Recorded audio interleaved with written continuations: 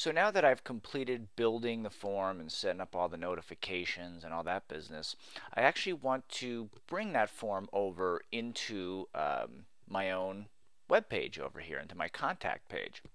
And the process is, is very simple. I'm going to essentially go to Wufoo, copy the embed code, paste it into my uh, web page, and once I save it, it just appears there. So, so let me do just that. Um, I'm going to go to the form manager and under forms you see the form that we created and one of the options down there you're going to see is code.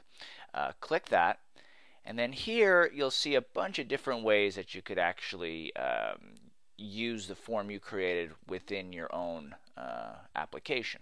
So the easiest way to do it is just go right here to embed form code and uh, we're going to copy the iframe version of the code from iframe into our web page. Now you also have a JavaScript version that they say they recommend and now I'm looking they have a WordPress version too.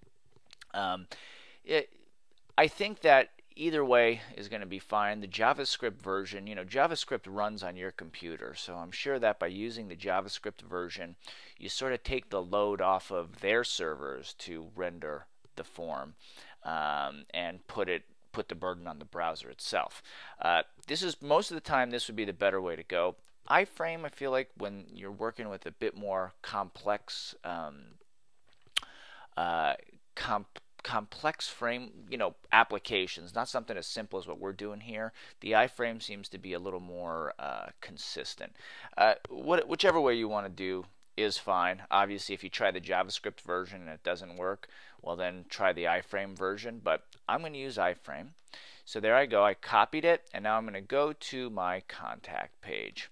So here I have it in Dreamweaver, and basically what I just have currently is just a bunch of dummy content in here that I'm just going to pull that out and right underneath contact over here I'm just going to paste the code.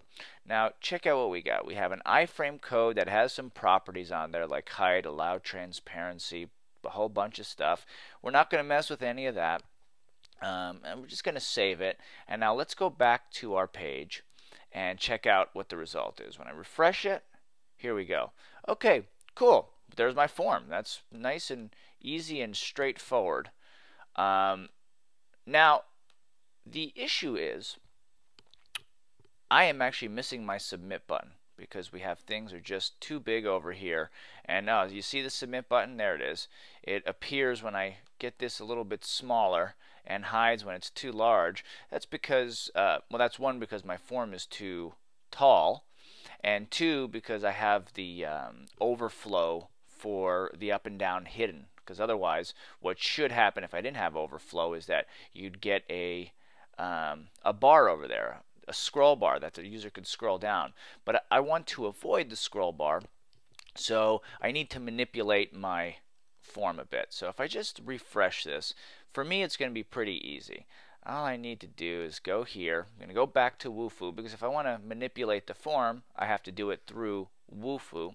If I click edit I think that I could just get this comments button to go from medium, which is this, which is actually a whole lot of comments if you sit there and type something out. I don't need that much space. Uh, I could just get away with making this smaller. If I save it, let's see, I'll give this form a refresh. Ah, look at that. And it all fits perfectly in there. Uh, very nice. And of course, this form is going to work just like the other one did. And I'll just do a little demo of the whole thing on the actual page. So let's see, R, G, W, R, A, Y, and then subject. And let's see what it looks like.